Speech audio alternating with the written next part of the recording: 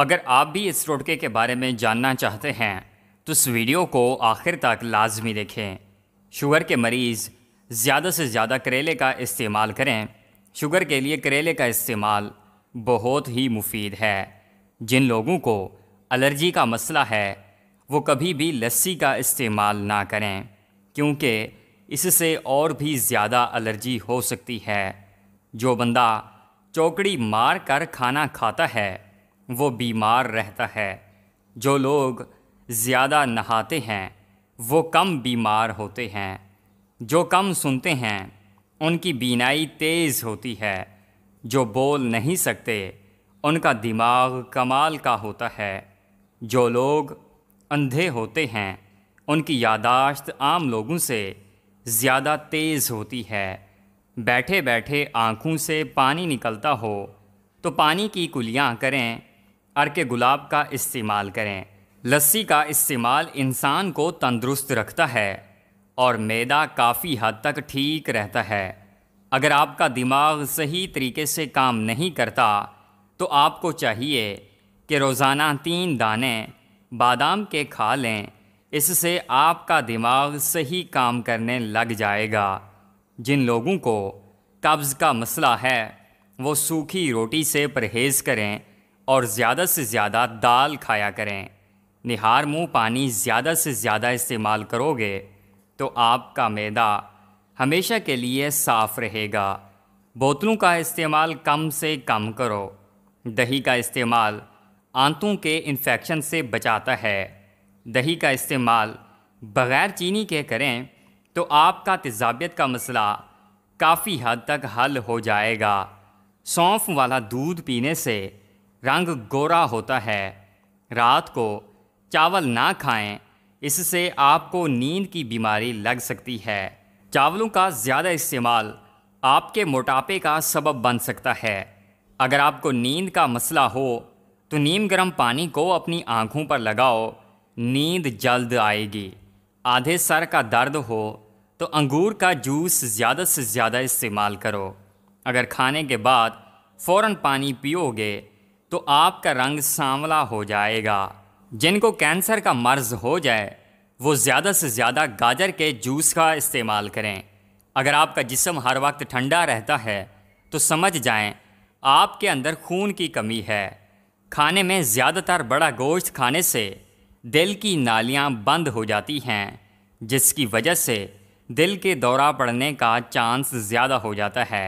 चेहरे पर दाने निकलते हों तो चेहरा गीला करके, फटकड़ी को हल्के हाथों से पूरे चेहरे पर पंद्रह मिनट तक रगड़ें, दाने जल्द ख़त्म हो जाएँगे। छोटे बच्चों के दांत जल्दी ना निकलते हों तो पिसी हुई मल्ठी, शहद और नमक इन तीनों चीज़ों को मिलाकर मसूड़ों पर मलने से दांत आसानी से निकल आते हैं। चेहरे का मेकअप उतारने के लिए कच्चे दूध का इस्तेमाल करें। पेट में गैस, कब्ज़ और अफाड़ा वगैरह में गन्ने का रस नहायत मुफीद है। जोड़ों और घुटनों के दर्द में एलोवेरा खाने से बहुत फ़ायदा होता है। जिनको खाने के बाद बदहज़मी हो जाती हो, खट्टी डिकारें आती हों और सीने में जलन रहती हो, वो प्याज को काटें और ऊपर लीमू निचोड़ कर खाने के साथ रोज़ाना खाएँ, इससे आपका हाजमा दुरुस्त हो जाएगा।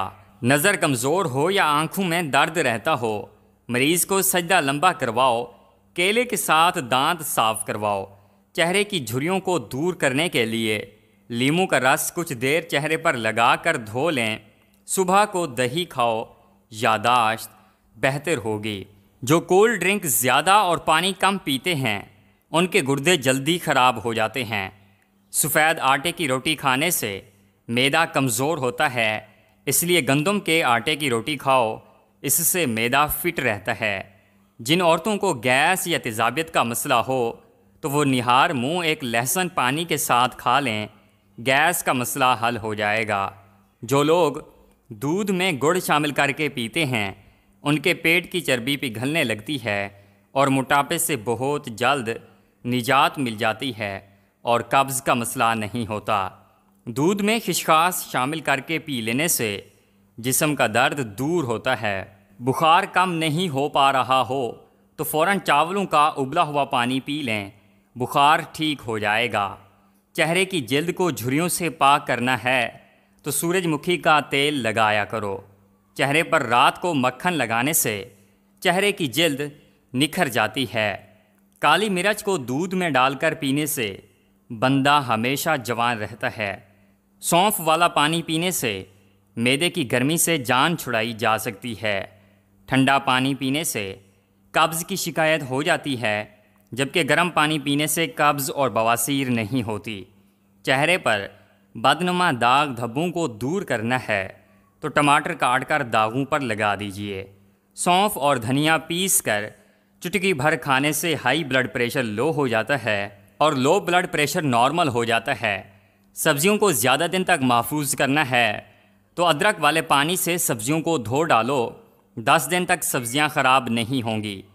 घर की दीवारों का पेंट जहाँ से उतरना शुरू हो जाए तो वहाँ पर गेंदे के फूलों को पानी में भिगोकर पानी को दीवार पर छिड़क दें।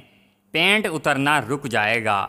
बारिशों की वजह से कमरा ज़मीन में धंसना शुरू हो जाए तो दीवार की सतह पर सफ़ेद चूना डाल दो।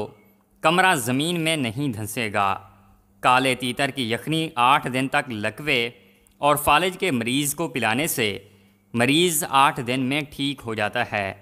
इलायची वाला पानी पीने से मैदे की तेज़ाबियत हमेशा के लिए दूर हो जाती है। थकावट होने लगे तो भैंस का कच्चा दूध पी लो, बदन में दोबारा से चुस्ती आ जाएगी। ठंडा पानी पीकर सोने से एहतलाम नहीं होता। समोसे खाने से पहले इस सबगोल का छिलका खाने से मैदे में तेज़ाबियत नहीं होती। एक मरतबा पकोड़े खाने के बाद दस दिन तक पकोड़े मत खाएँ, वरना मैदे का कैंसर हो सकता है। पेट्रोल को सूंघने से बंदे की सूंघने की ताकत बढ़ जाती है। जहाँ पर मुर्गी अंडे दे, वहाँ पर 10 मिनट बैठने से खारिश जैसी बीमारी का खात्मा हो जाता है। सफ़ेद चन्नों का इस्तेमाल शुगर को कम करता है। अगर आपका पेट बढ़ रहा हो तो कच्चा फालसा रोज़ाना खाओ।